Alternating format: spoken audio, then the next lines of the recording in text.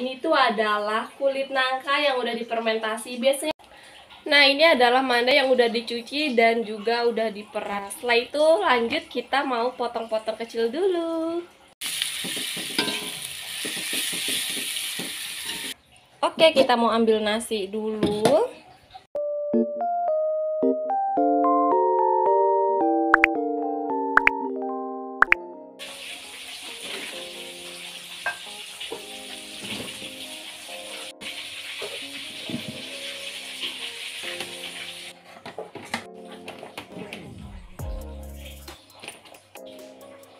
Teman-teman, kembali lagi di YouTube channel aku Vita Ano. Nah, hari ini ini sekitar sore sekitar jam setengah empatan, aku mau masak. Ini kalian pada tahu nggak ini apa? Ini tuh adalah kulit nangka yang udah difermentasi. Biasanya disebut mandai, cuman biasanya mandai itu adalah terbuat dari kulit cempedak. Cuman kulit cempedak itu musim-musiman, jadi kita menggunakan kulit nangka ini juga nggak kalah enak dan rasanya tuh mirip banget. Nah, makanan ini adalah makanan dari khas Kalimantan Selatan. Nah, jadi untuk mengolah mengolah nangka ini atau disebut mandai ini, biasanya difermentasi dulu menggunakan garam, eh, menggunakan garam dan menggunakan garam dan menggunakan garam dan air. Biasanya mandai ini digoreng aja juga enak, terus dijasal dengan sambal. Tapi kali, tapi kali ini aku mau dioseng-oseng, dicampur dengan kecap. Oh, masih ada air-airnya gitu, jadi mau dicuci dulu bersih.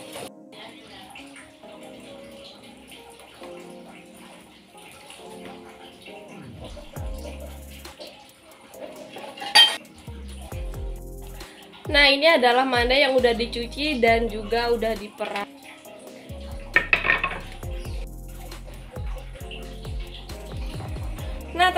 Setelah dicuci ini dipotong-potong dulu kecil-kecil.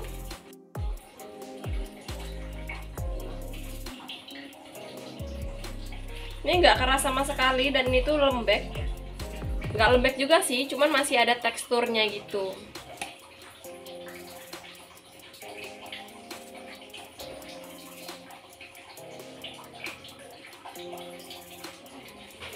Hai. Lagi mamam ya? Oke, selanjutnya kita mau goreng dulu. Ini aku nyalakan apinya dulu.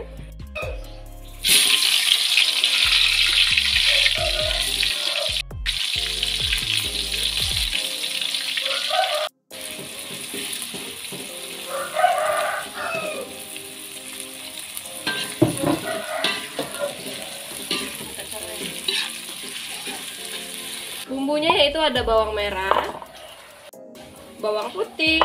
Karena di rumah ini cuma ada lombok rawit, jadi kita pakai lombok rawit aja. Nah, setelah itu ini mau dicuci dulu dan diiris-iris ya. Nah, ini udah dicuci, lanjut ini mau potong-potong bawangnya dulu.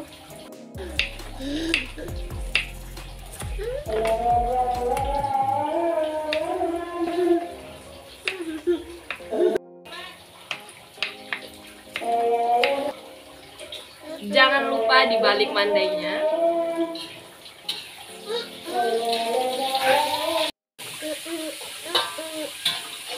Nah teman-teman, ini masih menggunakan wajan yang sama, jadi nggak usah ganti. Setelah itu kita nyalakan api. Untuk mengoseng-osengnya tuh tetap di wajan ini aja, biar nggak banyak-banyak cucian kotor. Nah ini adalah bumbunya. Kita memakai bawang putih, bawang merah, dan juga cabai Yang pertama kita tumis dulu si bawangnya ini.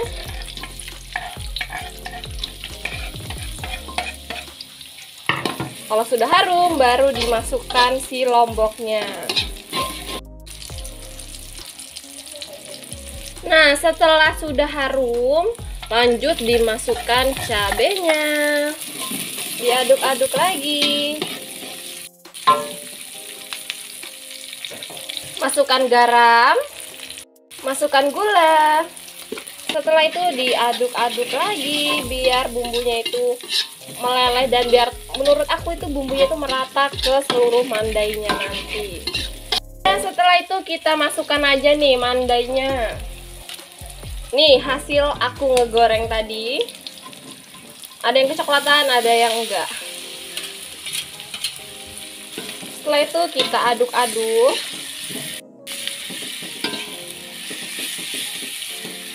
Biasanya ada orang Kalimantan Selatan tuh ditambahin lagi dengan air asam tapi itu kembali lagi ke selera kita masing-masing. Menurut aku rasanya rasanya ini tuh udah ada asam-asamnya gitu jadi nggak perlu lagi untuk ditambahin asam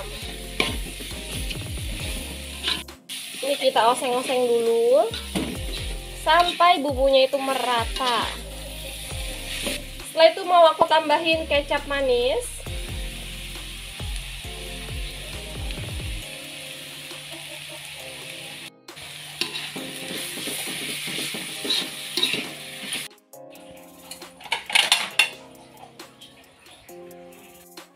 Oke, kita mau ambil nasi dulu.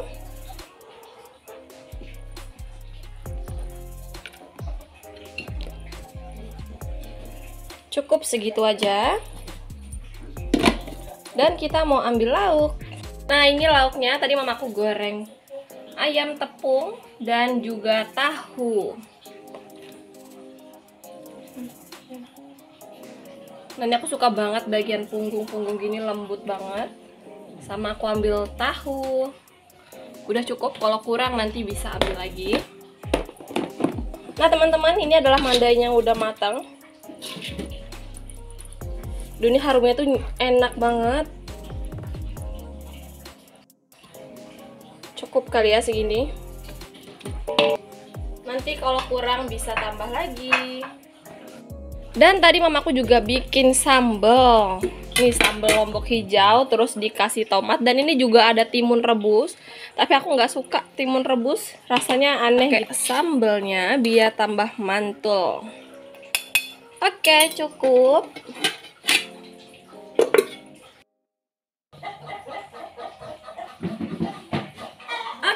Mari makan teman-teman.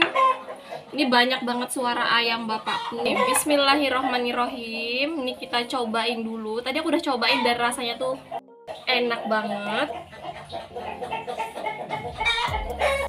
Jadi kalau untuk kalian nggak tahu rasanya, di rasanya ini ada rasa asem, asin. Asam tuh dari ininya. Asam tuh dari ininya karena difermentasi menggunakan garam dan air selama beberapa hari.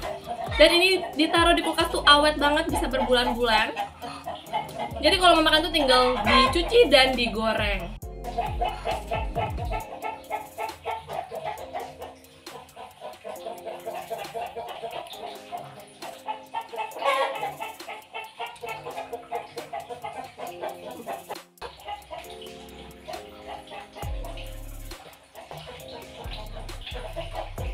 kasih sambalnya terus diaduk-aduk ini dimakan. Hmm.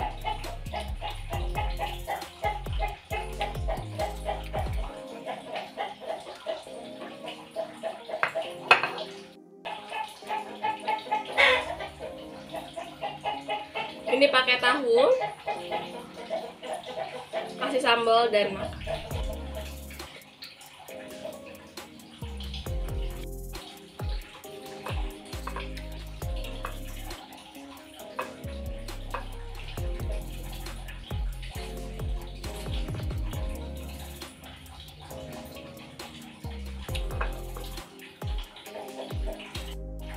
jadi teman-teman. Kalau kalian punya kulit nangka ataupun kulit cepadak tuh jangan dibuang ya Karena kalian bisa jadiin makanan seperti ini.